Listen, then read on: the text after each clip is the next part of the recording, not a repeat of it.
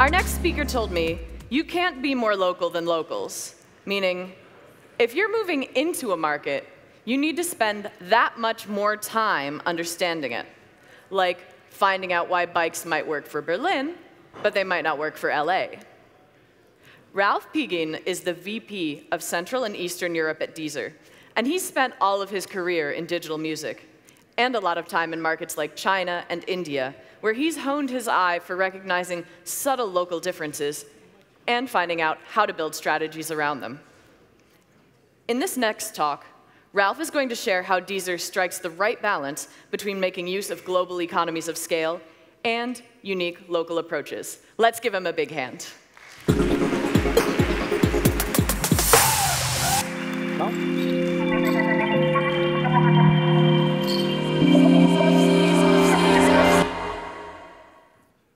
Good morning. Good morning, and uh, thank you very much for having me. And uh, I feel a bit intimidated with the talk earlier, which is so inspiring. And now we move back to the very mundane of marketing uh, strategies. Um, one quick question. I only have one question. Uh, who has a music streaming subscription in the audience? Oh, wow. Wow. That's very encouraging. Also tells you a little bit how advanced this market um, already is. For those of you who don't have a music streaming subscription or might use another one than ours, um, I give you a short intro uh, who we actually are. So this is one of the largest audio music streaming services globally. Uh, we have a freemium model, means you can register and use the service uh, with restrictions for free and then, of course, you can uh, upgrade to a monthly paid subscription service, which gives you unlimited uh, access to all its features. Um, in the premium segment, we have a specific offer for the student audience as well as for families, where you get uh, six profiles that you can share among the family. And then we have one high quality audio offering, which is called Hi-Fi. Deezer is actually one of the pioneers in music streaming, which is often overlooked. It has been founded already in 2007. It is a French company, and currently we have um, a bit more than 53 million tracks in our catalog, which makes it also one of the largest um, catalogs that is available.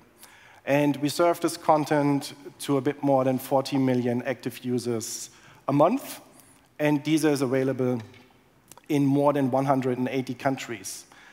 And so we are a true global service. And quite early in the history of Deezer, the decision was made for, uh, for the rollout to provide access to Deezer basically globally. And of course, this comes with its challenges, but it also really um, has a lot of significant advantages because from the very from the get-go, you learn how users interact with your service, what music they are listening to, when they are listening to music, and you can not only um, improve your product development based on those insights, but obviously also shape your local marketing strategy based on everything that you learn from that. Um, to put it into context, what is the industry that we are uh, in? Uh, music subscription has uh, now reached 3.5 billion in revenue in the first half of 2018. Um, we are still, the whole industry is growing over 40% year on year, but at the same time, the penetration rate of music streaming is still somewhere around 20%, and this varies obviously significantly uh, by market, and especially like my region is from the Netherlands to Russia and the CIS countries, countries like Kazakhstan. Um, you can imagine the streaming penetration is significantly different in, in those. If we look at the um, competitive landscape, you have on the one hand the big corporate players, um, namely Apple, Amazon, and, and Google. And then on the other side, you have the so-called pure plays, um, of course, with Spotify Us and then a couple of other companies um, that aim for the same goal. So if you are in this context, so on the one hand, you have a significant growth opportunity in terms of penetrating a market. And on the other side, you have fierce competition, then of course, the only name of the game is scaling as fast as possible and ideally globally. But then, very quickly, you realize that the world is actually local. And especially for a product like music, which is highly local, and then you have a new technology, which is music streaming, so you need to have the typical adoption curve for new technologies. Um, and then you have a paradigm shift in how music is consumed because we move from an ownership-based industry or consumption to access only. And all those developments happen at very different speeds depending on the country, but you need basically to address all of them at the same time. So this brings a couple of challenges with it. On the global side, you need to have a universal value proposition. So the core product needs to meet the needs in basically every country.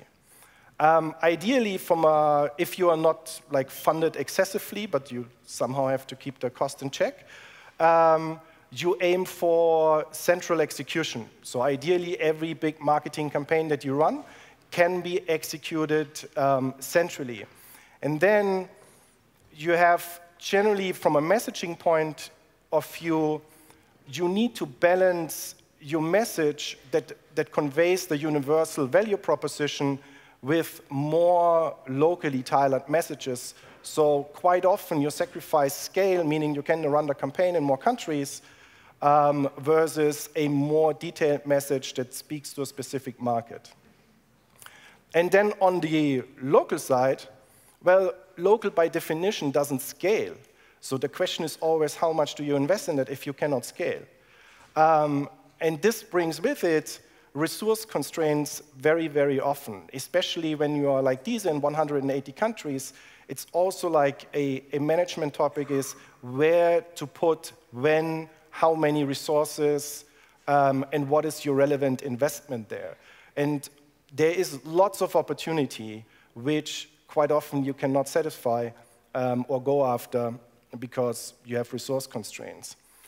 And then um, one thing that is really important, which I have learned over and over again in my career, is when you are a global player, you are a global player. You are not the local one. So when you face local competition, don't try to become more local than them. It won't work. So ultimately, it's about finding the right balance in this heavy scale context. And the way we approach that um, at Deezer, but also think is a, is a good way generally, is when we talk about the universal value proposition of music streaming, or generally the product, everything is done globally, centrally. Those are your performance acquisition campaigns. And whereas a global team can run 50 to 100 creatives at the same time, they can super fast detect which are the creatives that work the best. But then the question is, how do you develop those creatives further to make even more performing um, creatives? And this is where the local teams come in. They, of course, localize the creatives, translate the creatives, but they also give guidance why a specific creative might work better than the other one. When we then move to awareness campaign, especially big ATL campaigns or TV campaigns, the local input is by far more important because um, you have a, a, a TV ad um, is happening in a cultural context. And it might be the people that you show in the TV ad, it might be the music that you use um, in the TV ad. So you need by far more local input, but at the same time, um, ideally you want to have one production that satisfies the need of the world. And then you, find, you need to find the balance between this central cost efficiency point of view and at the same time having enough versions that potentially work um, in South America um, the same as they would do in South Korea. And then um, the, the last point where all the focus sits with the local teams is when it comes to brand perception and your brand positioning. Um, because especially in music, this is basically where you tell the audience what you stand for. And um, in that area, from a, from a global point of view, it's uh, mainly providing a framework that local teams can develop and execute um, the campaigns. And in, in general, when it comes to messaging, especially on content-driven um, products, for us, it, um, you can see that we start with a uh, very universal message on a global level it's very product focused because the product is a global one. It's not localized in a sense that it's individual features by country. Um, and then slowly moving to a content focus where the messaging is all about what is it what we're actually offering. And so I want to give two examples for local campaigns, both of them executed in Germany, and some of the key learnings that we, that we took away from them. Um, the first campaign we ran in 2017, it was called, well, internal title, Love is in the Air. And we selected three cities for a test in order to scale it later across Germany. And the, the idea was that we want to be where our users are. So music is part of your life, and we want to reach the audience where their life is happening. And that is, as opposed to some other companies who put up their billboards on the side of big building and tourist hotspots, and where you always have to look up, and it's more like an aspirational point of view, um, we wanted to meet the audience at eye level. Um, and that's important for us as Deezer in general, um, that our users and us, we should meet at um, eye level. And so two of the things that we did, and we did a lot of things, um, we used postcards and we used um, billboards that are in uh, living, like residential neighborhoods, um, and they are hung next to like concert posters and so on. So the context is this is where you live, and the postcards are like in restaurants, cafes, um, uh, where you also live and, and um, have your breakfast. After the first flight, obviously, we did an analysis of this campaign, and there were two main challenges that we um, saw with that campaign. First of all, as you can see, it is very detailed. So basically, every single city had its own set of creatives. And this eats away a lot of resources. And then if you want to scale it and run it maybe in 23 cities, then you have to multiply the effort. Or, of course, always you look for a partner who can do that for you. Um, and then you run into uh, cost and efficiency issues. So um, that was the one challenge. It's hard to scale. It takes a lot of, uh, away a lot of resources. But the worst part is um, everything nowadays is tracked. So we, we track literally everything that we do. And for a campaign like this, it starts with figuring out what is the correct set of metrics that you want to track and how, what is the impact that you expect from this campaign. And we picked a couple, and we didn't see any impact on all of those. So in this environment where there's a lot of pressure on scale, a campaign like this is very short-lived because you won't do a second flight, because you cannot show that you are even on the right track. And because of that, we decided to end the campaign, which was very sad because it's a really nice campaign, um, and we're looking for alternatives. And one of the alternatives, and a key element, is actually not a campaign, but it turned out to be a partnership. And at the end of 2017, we struck an agreement with a company called Nextbike, and they're the, uh, they had just been awarded to be the official bike sharing scheme of Berlin. And uh, the partnership not only includes the branding on more than 2,000 bikes and a couple of hundred stations in Berlin, but it also gives our premium users um, the advantage that they can use every single first, every single ride the first 30 minutes for free. Um, and then, of course, like after 29 minutes, you can return the bike, you can rent a new one, and it will always be free. Um, so, but legally, it's only the 31st minutes, uh, first 30 minutes. Um, and so, this campaign addressed a lot, addresses a lot of the challenges. First of all, um, you start the partnership, and then basically it runs by itself. It, will, it, it requires very little um, maintenance. The other one, as you might have seen when you wander around Berlin, the brand is visible all year round, all over the city. And that is something that is not viable for most out-of-home campaigns that you can do. So there's, there's a big, big advantage in, in doing it um, that way. And then, of course, most importantly, we saw results. And the unfortunate thing is that I can't actually really tell you what you're looking at here. so, um, but there are two things. First of all, the graph measures some sort of engagement. It's an engagement metric. Um, and it's for a set of users that are actually in Berlin. And the other graphs show engagement from users in other cities or regions. And the key message here is that, as you can see, the line starts at one point to separate itself from the other um, cities. And this is so significant because engagement, at least for us, is a key churn predictor. And in order to grow sustainable, you need obviously to focus a lot of your attention on churn.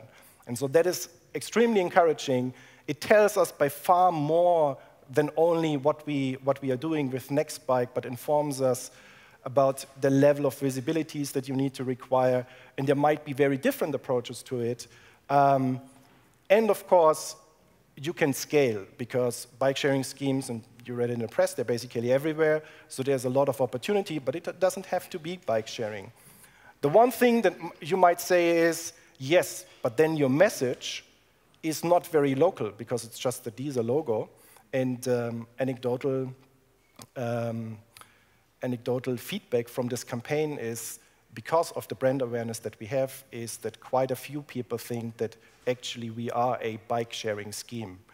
And uh, I'm, I'm, approached when it's like, ah, I work for Deezer, and say, oh, you work for the bikes, that's awesome. Um, so you see there are pitfalls when, when doing this kind of campaigns. Um, so a presentation about a music streaming service would not be complete if I would not talk at least a little bit about content.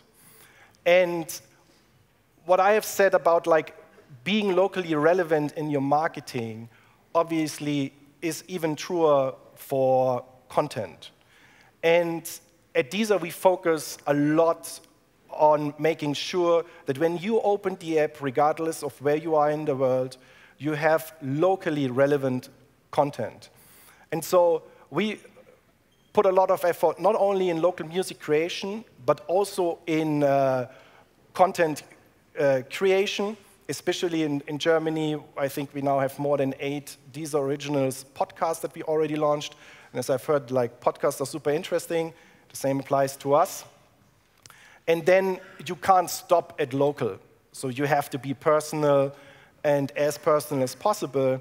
And for this part, Deezer has a very unique feature um, that's called Flow, and it's an endless list of music that you can listen to that learns by your behavior. And while playlists that are personalized are not exactly new, um, what is really unique is that this, this list of songs, it interacts with you in real time, meaning it's not created like on one day and then you listen to the next personally curated playlist on the next day. But while you're listening to it and while you say, I don't like this song, I skip this song, I like that song, it will adjust the future tracks based on what you want um, to listen to. And I would be uh, super psyched to, to tell you a bit more what it actually takes on a global level to make it personally relevant. Um, but this would be uh, more the topic for another talk. Thank you.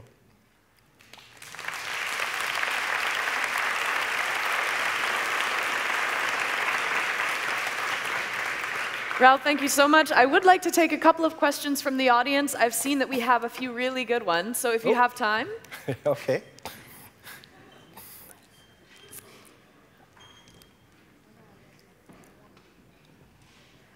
So, one person asks anonymously, how did you make How did you make the choice of the three cities for the campaign Love is in the Ear? Uh, I, I, was hoping I have not to go into that. So Berlin was super obvious um, because we are based in Berlin, and it's easy to track the campaign. Cologne, we had a couple of regions where we looked at engagement um, and where we, where we thought like we have a good penetration of Deezer and a high engagement, so it makes sense to make a brand positioning campaign there. And Bielefeld, um, Bielefeld was taken because we had uh, our head of marketing at that time, she came from Bielefeld, and she told me that nothing is ever happening in Bielefeld. And so if we do a campaign there, we will certainly see a big impact.